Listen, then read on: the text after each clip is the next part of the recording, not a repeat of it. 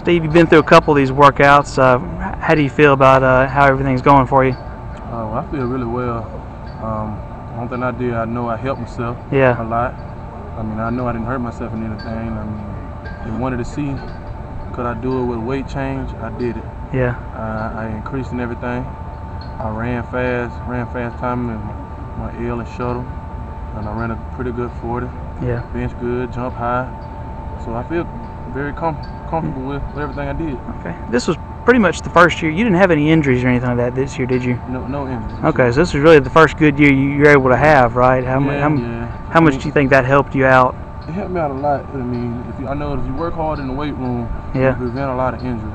I mean, last year I really wasn't injured. I was just basically sick, Yeah, and that took from me. But I just came back this year and just looked for a, a bigger prize this year.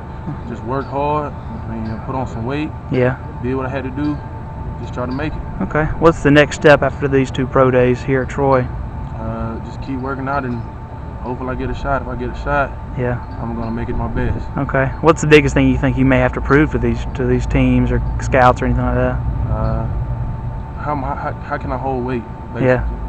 And I did everything pretty good. Yeah. You know, I mean, I don't like being good. I like to be great. So, All right. I I ain't really gotta. I really gotta prove. I gotta prove everything. Whatever Yeah. they wanted me to get better at, I would get better at it. Okay.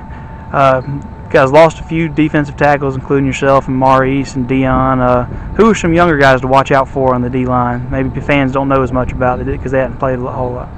Watch out for uh, James Searson, Yeah. Timothy Lamb, uh, especially uh, Dixon. Yeah. Uh, I think his name Kevin. Kevin Dixon. Kevin Kevin, Kevin Dixon. Yeah. It's gonna be the big, biggest thing for him next year Yeah. because he played in Nebraska. He played some time in Nebraska. He's, he's really good. He's really good. Yeah. Now, I tell the guys all the time, great is always at competition with good. So I never settle for being good, try Yeah. to be great. And most of them guys listen. You know, hopefully to come out this year, this spring, they see it in the spring, and they'll do well. Okay.